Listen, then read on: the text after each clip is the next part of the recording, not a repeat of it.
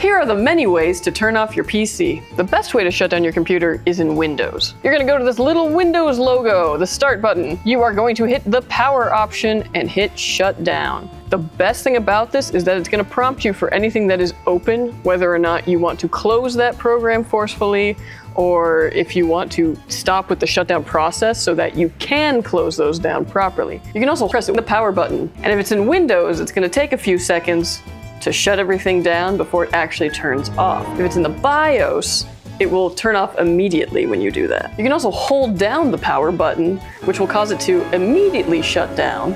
But you don't necessarily want to do this because if you're working in programs on Windows and you haven't saved things, they might not get saved, files might get corrupted. You just don't want to do it unless you absolutely have to. The switch on the back of the power supply, which is usually on the back of your computer, will also just shut power off immediately to the power supply, shutting off your whole system. This isn't necessarily the best thing to do though. Anytime you're messing with the power supply, you have that risk of uh, voltage spikes that can harm hardware. It's pretty rare though. Not every case has the power switch in the back. Some of them have the power supply located in a different location in the case, so the switch might be up here. For a flashier version of shutting down the power switch, you can also just hmm. pull the plug like a maniac. There are many other ways to turn off a PC, but I can't recommend these ones, such as